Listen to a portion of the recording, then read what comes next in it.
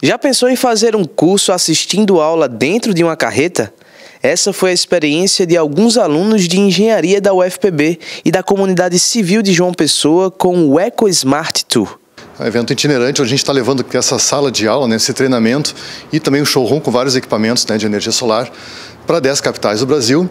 E o treinamento é focado já para pessoas que têm já algum conhecimento, já atuam na área de energia solar. O projeto é da empresa de tecnologia Goodwe a iniciativa está percorrendo 10 cidades brasileiras para oferecer treinamentos gratuitos. O projeto do Eco Smart Tour, como intuito, é levar conhecimento para todo mundo que trabalha no segmento de energia elétrica. Então, a gente tem um portfólio muito amplo de tecnologias para energia solar, especificamente, desde, uh, desde, desde o portfólio residencial para casa até grandes usinas. E é muito difícil, às vezes, todo mundo conhecer isso, ter contato com montar, desmontar, entender como esses equipamentos funcionam.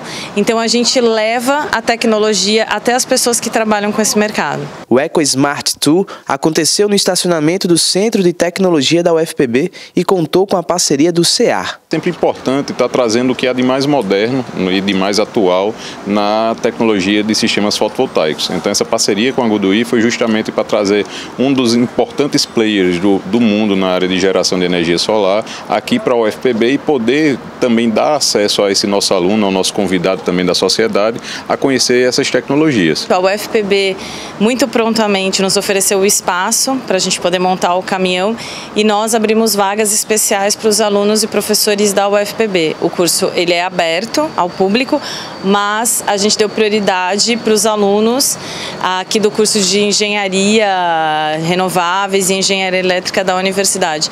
Funcionou super bem essa parceria, João Pessoa foi a localidade em que a gente teve mais presentes no curso até agora. Então a gente está muito feliz com ela e a gente espera repetir no futuro. Ao todo, foram ministrados quatro treinamentos com três horas de duração cada um. A gente mostra aí duas grandes novidades do mercado. Né? Uma que é a, as, a, os sistemas híbridos, né? inversores com baterias, armazenamento de energia em baterias, e também sistemas com a FCI, né? que é um sistema que a Goodwin implanta nos seus produtos para prevenção né, de incêndios né, e proteção à vida, proteção ao patrimônio. O intuito da parceria entre a Goodwill e a universidade é estreitar a relação entre a academia e o mercado de trabalho. A energia solar, por mais que seja uma energia barata, fácil de instalar, né, limpa, ela requer vários cuidados assim que às vezes a pessoa que está entrando né, não, não viu ainda os riscos que o sistema apresenta que podem ser, claro, mitigados com uma instalação de bem feita, de qualidade, usando produtos de qualidade, ferramentas adequadas. É, e o que a gente tenta mostrar aqui é justamente isso, né?